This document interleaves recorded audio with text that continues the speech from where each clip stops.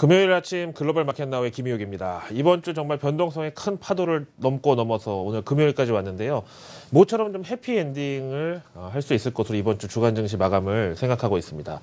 해피 엔딩이라야 봤자 사실 뭐 현재 지수 때는 1900선까지 떨어져 있는 상황이고요.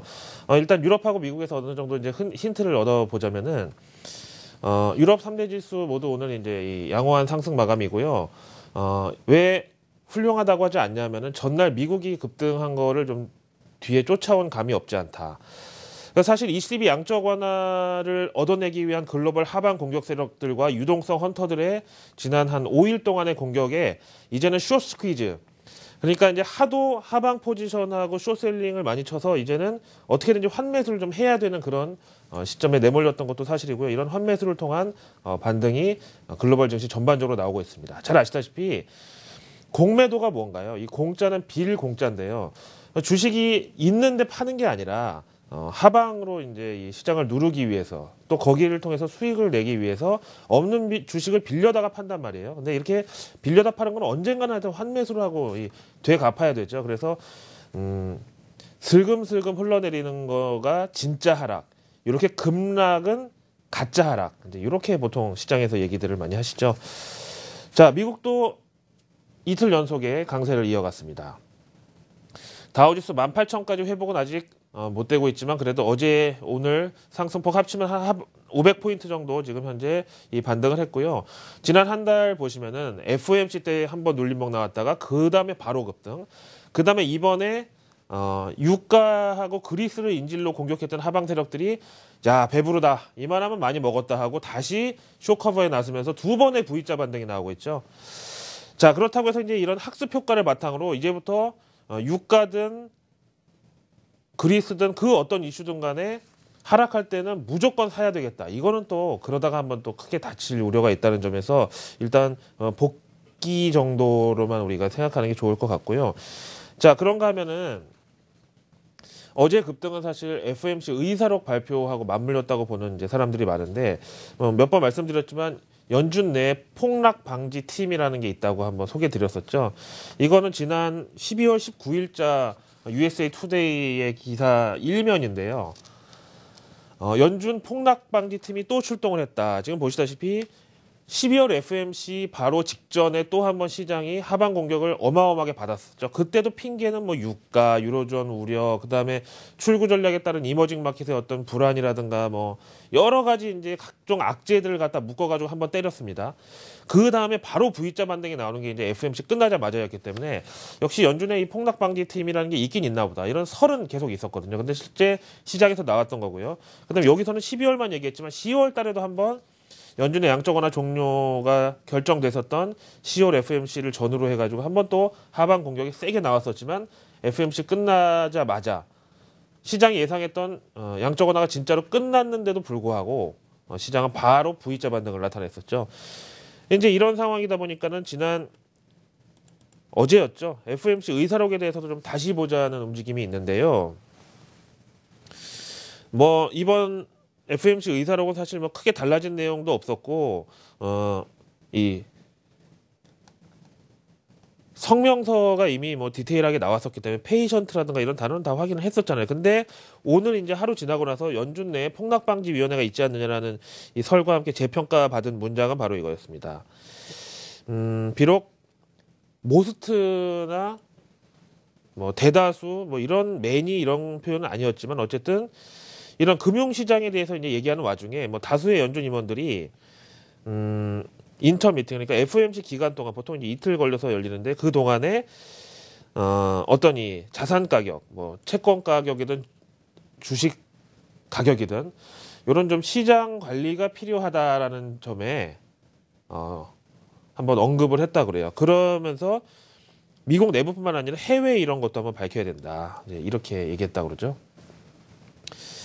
아 그래서 어쨌든 간에 시장의 영원한 진짜 내 편은 연준이구나. 이런 인식이 지금까지 있는데 어 뭐 여러 번 말씀드렸지만 이런 뭐 엔젤 투자자라고 할까요? 글로벌 엔젤 투자자 내지는 어, FMC 효과 이런 게 영원할 수는 없다고 봅니다. 왜냐하면 지금 사실은 이제 글로벌 유동성 측면에서는 연준이 아직까지 완전히 빗장을 걸어 잠그지는 않았단 말이에요. 하지만 더 풀지는 않고 있는 상황인데 이게 이제 지난 금융위기 때 어, 시장이 완전히 신생아 상태로 전혀 자생력이 없다 보니까는 뭐 울고 뗐으면 우유 주고 뭐 어, 얼르고 달래주고 뭐 이렇게 해서 여기까지 왔는데 지금은 시장이 막 뛰어다닐 정도는 아니더라도 어느 정도 어, 걷고 어, 의사표시는 할 정도까지 왔는데도 여전히 그런 갓난아기 시절의 그런 이 투정을 부린다면은 연준이 한 번쯤은 매를 들 수도 있죠.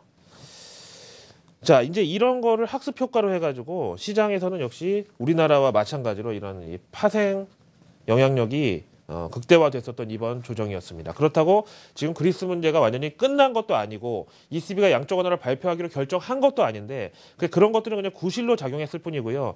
이런 하방 공격 세력들은 지난 어, 5거래일 동안의 그런 낙폭을 오히려 마이너스를 플러스 수익으로 되돌리는 그런 쇼커버가 현재 이틀째 나온 것이다라고 보고요. 이 표를 보시면은 푸컬 레이쇼에서 어 12월 17일 날, 그러니까 FOMC 바로 전날이었는데요. 그때 풋이 357만 3,143계약, 그 다음에 콜이 2,887만, 아, 88만, 아, 288만 8,765계약을 해가지고, 어, 풋이 1.24로 이제 이 단기 고점을 찍은 다음에, 그 다음에 다시 언제 그랬냐는 듯이 이제 1 밑으로 떨어져가지고 계속 이제 콜이 우세를 하다가, 이제 FMC 의사록 공개를 3일 앞두고 나서 또 신년 증시가 열리자마자 또이풋 세력들이 다시 이제 풋의 왕창 포지션을 실어가지고 1.2 그다음에 결국 1월 5일날 1.23까지 갔다가 이제 그 뒤로 다시 어 하방 세력들의 공격이 멈추면서 어제는 이제 1 밑으로 다시 떨어진 날.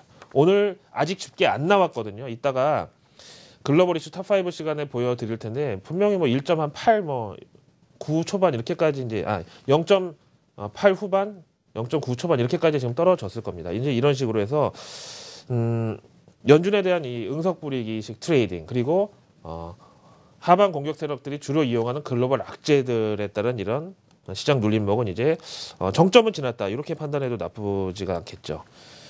그 다음에 이제 오늘 우리나라 금요일 이번 주 마지막 거래일 어, 출발을 이제 한 2시간 정도 앞두고 있는데 과연 왜 해피엔딩이 가능할 것이라고 보느냐.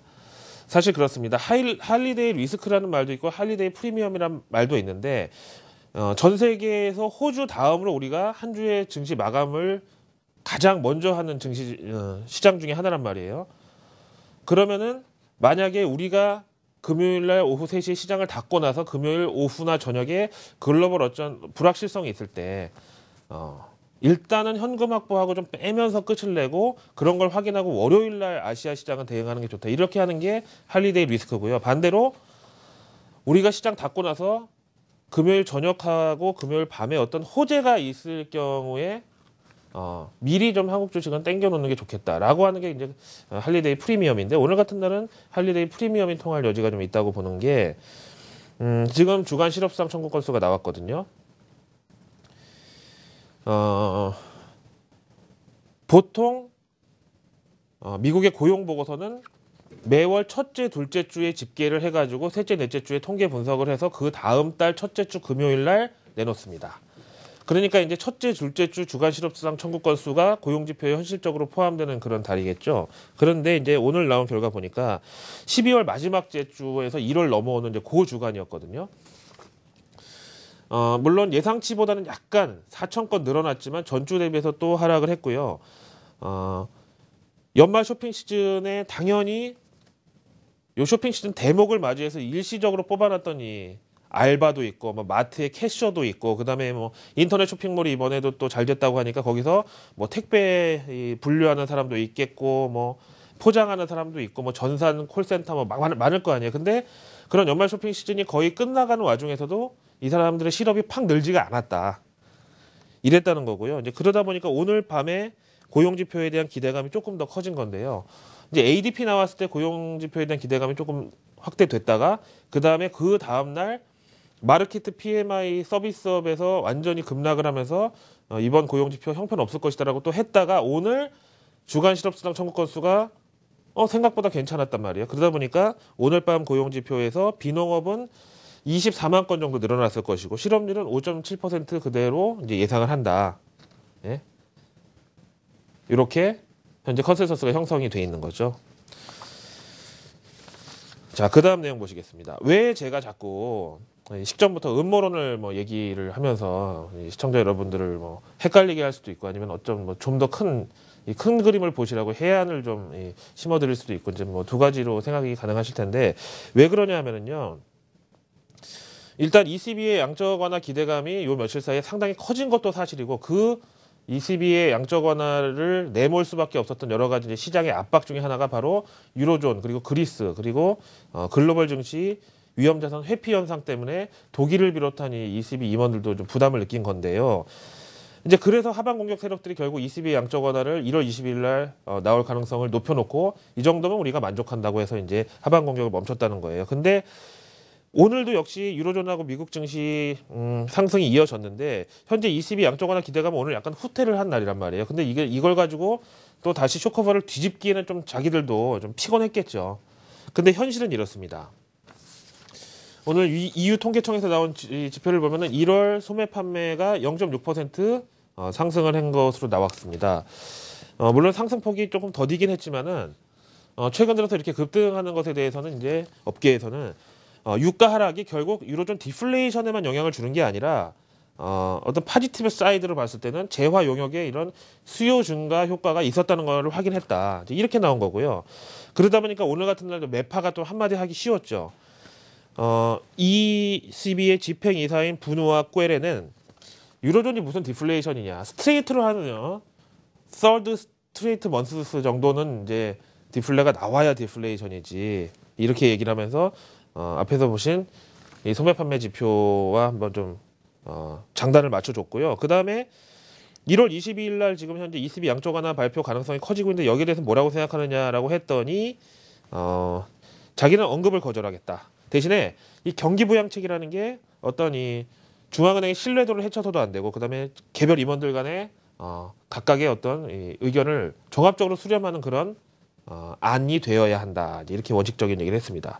그러면 어저께 ECB 양적 완화 기대감 때문에 글로벌 증시가 이제 급등을 했다가 오늘 이 얘기가 나왔으면 조금 후퇴를 해야 맞지만 아, 이 글로벌 하방 세력들은 기왕 한번 쇼커버 하는 것 하루, 하루 더 먹고 싶다 이제 이랬다는 거죠. 그런 와중에서도 계속 상승하는 것은 달러 인덱스 이제 92선을 오늘 넘어간 날이고요. 우리나라 입장에서는 이제 이 ADXY 달러 인덱스 이제 아시아 버전을 봐야 되겠는데 ADXY의 어, 코리아 원화 KRW 한국의 원화가 한 20% 정도 비중으로 들어가서 위안화 다음이거든요. 달러원이 조금 더 이제 어, 변동성은 크긴 하지만 이제 역동조화가 계속 나타나고 있는데 어, 일단 지금 같은 상황에서는 이제 환율 변동성은 약간 이 2차적인 이 컨선으로 밀어놓고 오늘 하루도 어, 반등을 이어가도 나쁘지 않다고 봅니다. MSCI 한국 지수도 56선에 바짝 다가가면서 오늘 2% 상승을 기록했습니다. 56선을 넘어야나 어, 코스피 1900 한 20, 30에 안착을 한다라고 볼 텐데 아직까지 거기는 어, 한 발짝 정도 더 갈, 발걸음이 남아 있다라고 보겠습니다. 금요일 아침 글로벌 마켓나우의 김유기였습니다.